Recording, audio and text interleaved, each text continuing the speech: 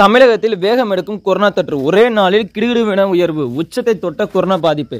தமிழகத்தில் கொரோனா தொற்று பாதிப்பு மெல்ல மெல்ல அதிகரித்து வருகிறது. கடந்த இரண்டாயிரத்தி இருபத்தொன்னு ஆண்டு முதல் உலகையே கொரோனா தொற்று அச்சுறுத்தி வருகிறது. கடந்த இரு ஆண்டுகளில் எத்தனையோ உயிர்கள் இந்த தொற்றுக்கு பலியாகினர். குறிப்பாக இந்தியாவிலும் கொரோனாவிற்கு லட்சக்கணக்கானோர் உயிரிழந்தனர்.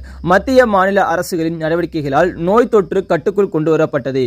இந்தியாவின் கொரோனா பாதிப்பு முற்றிலும் ஒழிக்கப்பட்டு விட்டாலும் ஆங்காங்கே ஒன்று இரண்டு பாதிப்புகள் கண்டறியப்பட்டு வந்தனர். இந்த நிலையில் கொரோனா தொற்று பரவல் கடந்த சில தினங்களாகவே அதிகரிக்க தொடங்கியுள்ளது. கடந்த இருபத்தி நான்கு மணி நேரத்தில் மட்டும் தமிழகத்தில் நூத்தி தொண்ணூத்தெட்டு பேருக்கு தொற்று உறுதியாகியுள்ளது. இதன் மூலம் தமிழகத்தில் ஆயிரத்தி எண்பத்தாறாக உயர்ந்துள்ளது. குறிப்பாக சென்னை கோவையிலும் பாதிப்புகள் கண்டறியப்பட்டு வருகிறது. சென்னையில் அறுபத்தி மூணு பேருக்கும் செங்கல்பட்டுவில் இருபத்தஞ்சு பேருக்கும் கொரோனா பாதிக்கப்பட்டதால் அனைவரும் பார்த்தீங்கன்னா ரொம்பவே ஒரு அதிர்ச்சியில் இருக்காங்கன்னே சொல்லலாம். அது மட்டும் இல்லாமல் பார்த்தீங்கன்னா ஒவ்வொரு நாளுமே கொரோனா தொற்று அதி அதிகரிக்கப்படுகிறது. இதில் ரொம்பவே அதிகமாக இருக்கக்கூடிய மாவட்டங்கள் என்று பார்த்தால் செங்கல்பட்டுல அஞ்சும் சென்னையில் அறுபத்தி அஞ்சும் அதனைத் தொடர்ந்து கோயம்புத்தூரில் பதினாறும் அதனைத் தொடர்ந்து சேலத்தில் பத்தும் அதனைத் தொடர்ந்து பார்த்தீங்கன்னா திருச்சியில் ஒம்போதும். இந்த ஐந்து மாவட்டங்களிலுமே பார்த்தீங்கன்னா கொரோனா தொற்று ரொம்பவே அதிகமாக இருக்குன்னு சொல்லலாம். அது மட்டும் இல்லாமல் த தமிழகத்தில் மீண்டும் பார்த்தீங்கன்னா முகக்கவசம் கட்டாயமாக்கப்பட்டுள்ளது.